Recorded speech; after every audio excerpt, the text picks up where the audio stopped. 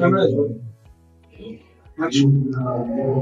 to Selaxi Educational Services. Today we are going to look at redox titration, chemistry YA 2024. And the sample, the solution A, solution A is potassium tetraoxo manganese 7. YB is giving us iron 2 tetraoxosulfate 6. Now, these are the two solutions that will be given to us that day. Now, the first one is actually an oxidizing agent. An oxidizing agent. While the second one, which is solution B, is a reducing agent. Now, in this redox titration, we were asked to measure 1.58 gram of KMN 04 and make it up to 1 dm cube of distilled water. While we are also asked to measure 5.5 gram of iron 2 sulfate and make it up to 1 dm cube of distilled water. Now, this is very, very simple. I can as well get the concentration of the A, which is potassium permanganate, and get the concentration of the B, which is iron sulfate. Now, if I'm if I'm calculating the concentration using my paperwork, it will be 1.58 gram, all right, divided by the molar mass of KMNO4. So we have 158, which is the molar mass of KMNO4. Dividing it, we have we have 0. Point zero one zero zero mole per dm cube.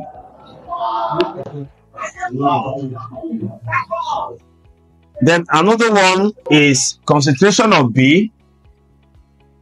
If I want to know the concentration of B, it will be 5.5 gram. This gram per mole.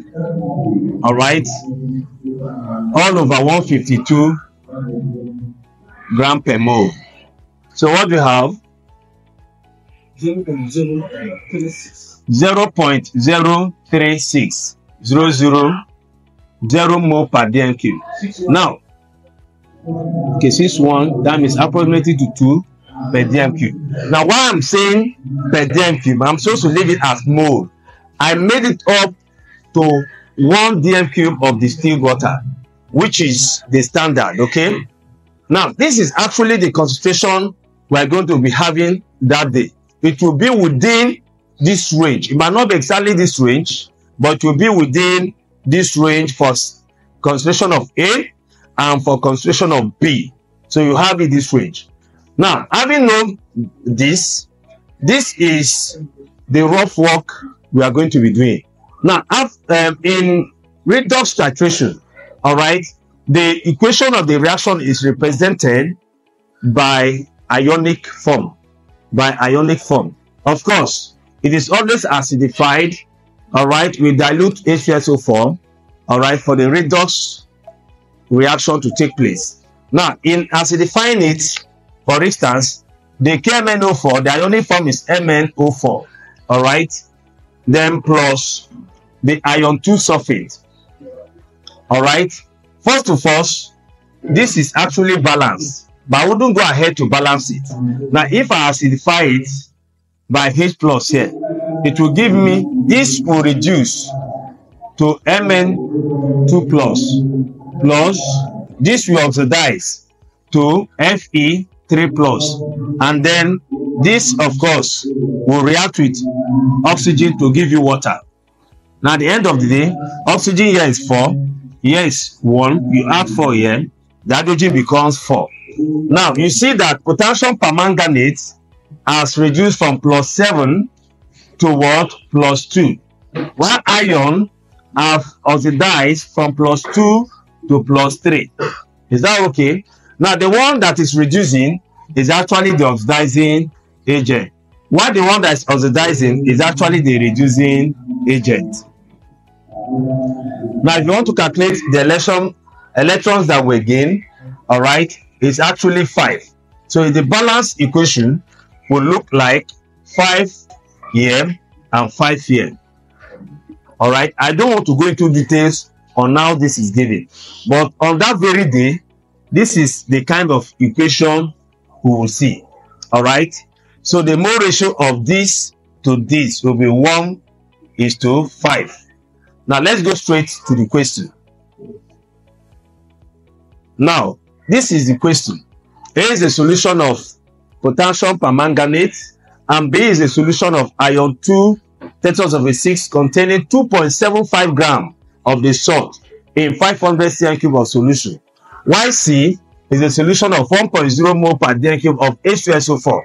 Now the questions are A.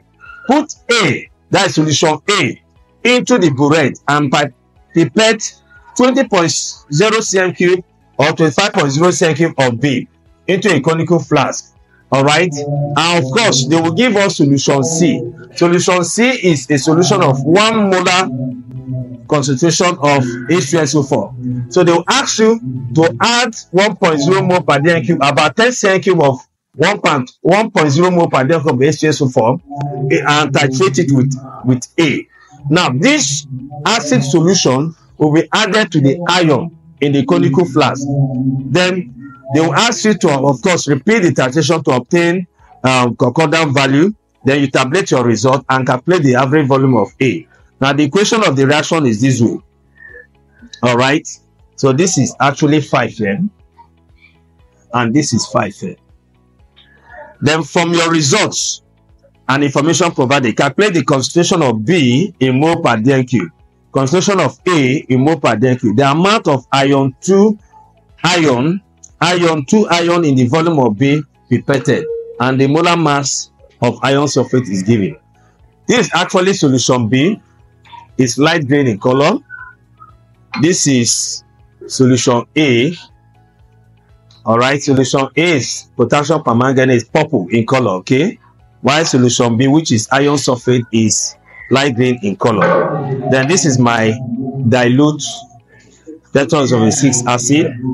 All right, I've already poured the this is the titration apparatus. I've already poured the uh, potassium permanganate into my burette. Then I will pipette my iron sulfate.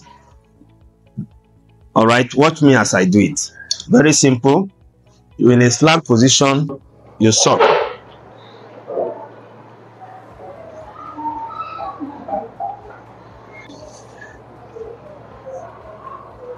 You should be very careful so that I don't drink it. So I want to calibrate it to the mark on the pipette. Of course, we are using 25.00 CNQ pipette. So that is the mark. Is there. So this is the oh it has gone down.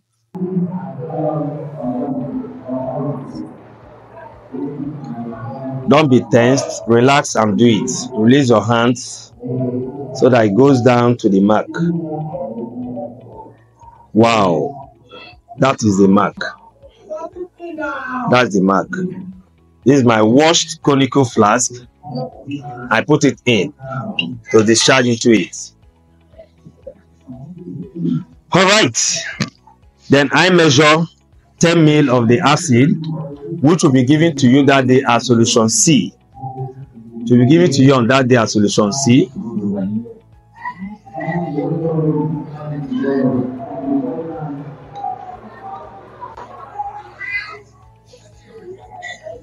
Still remaining small.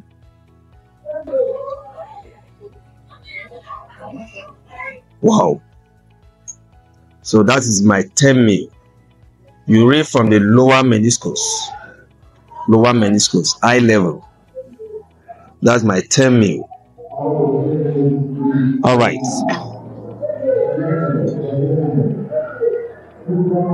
Make sure that every content in the pipette is discharged into the conical flask. You touch the tip. You put it back. This way.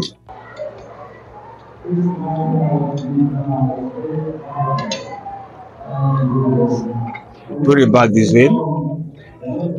Hang it gently. All right. We are ready for our titration so I pour it into this. The essence of adding dilute H2SO4 is to prevent oxidation of the iron 2 to iron 3 and also to speed up the redox, okay? The titration. So I titrate. Now you watch as I titrate. You watch as I titrate. Now this is purple in color. When it touches the iron 2 sulfate, when it touches the iron 2 sulfate, the purple color disappears, decolorizes, okay? Now, as it's going into iron 2 sulfate, a time will come where there will be much, um, where the iron uh, potassium permanganate will be much into the solution. So it begins to oxidize the iron 2. So let me titrate. Watch as I do it disappears. Can you see? Can you all see? Wow. Keep swelling in. Wow. Be careful so that it doesn't spill on the conical flask. Be watchful when it will change to pink, permanent pink.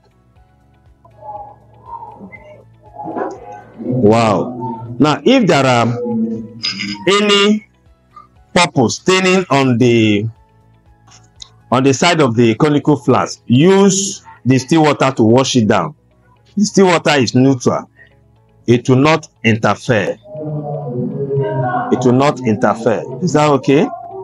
Let's go there. Wow. Keep disappearing. Wow. Wow. Wow. Let me wash down these pills. It's still disappearing, still decolorizing. The iron 2 sulfate is decolorizing the purple color of the potassium permanganate.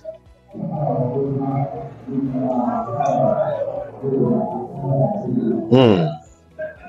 That's turned pink, right? That's a pink color. That's a pink color. Then on standing, it will oxidizes to ion 3. On standing, it will oxidize to what? Ion 3. So this is the one I've done before. This is the one I just did. This is the pink. This is the end color change and this is the end point. On standing, it oxidizes to ion 3.